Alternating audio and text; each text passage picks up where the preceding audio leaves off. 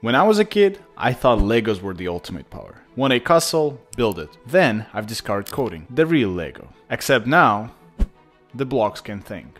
They can talk to millions. And the best part, you don't need permission to play. Coding isn't just about writing lines of text, it's about building doors. And then, choosing which ones to walk through. Want to create an app that helps millions to track their mental health? Boom, door. Automate your rent payments, your emails, even your coffee machine? Door. Or maybe, just maybe, you want to get paid stupidly well to solve puzzles all day? Ding, that's a door too. Oh, you think I'm exaggerating.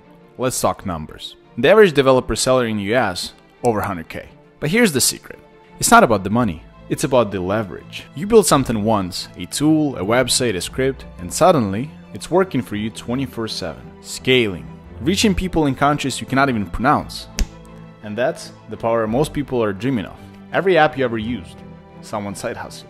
Instagram, TikTok, the weird calculator your uncle downloaded. Someone looked at a problem and said, I can fix that with code. And now they're sipping Mai Tais on the beach while their software prints money. Don't like Mai Tais?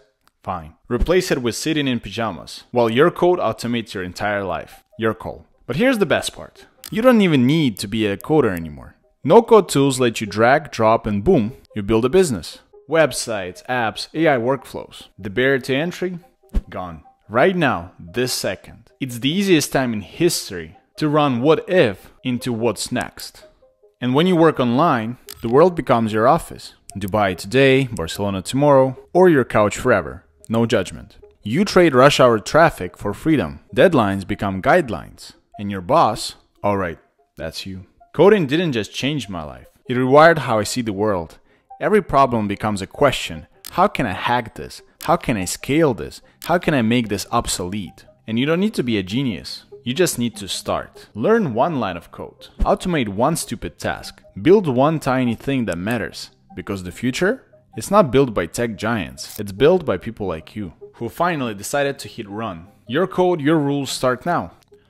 I get it. Still not convinced. Let's get specific. Here are the three things you can build tomorrow, starting from zero. The Lazy Genius script. Automate the thing you hate.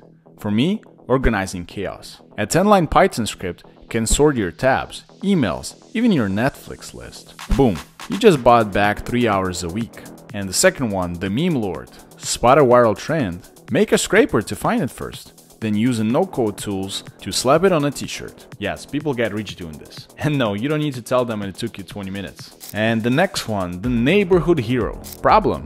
People crave local connections but don't know how to ask for help or offer it. Idea?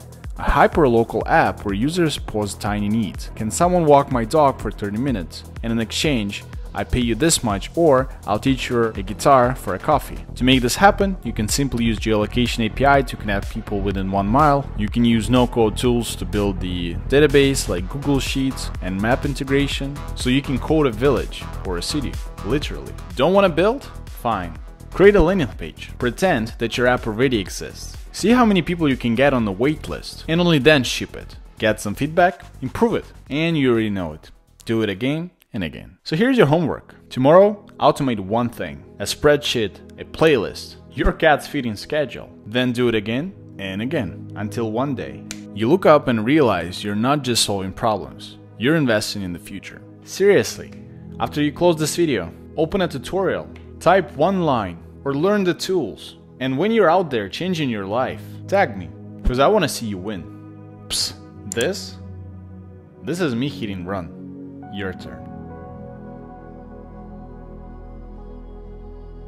Thank you for watching this video, and if you liked it, give it a like and don't forget to subscribe to the channel, because here I show you how you can build tech products, create online business, and general AI trends and much more. So, I hope to see you in the next one.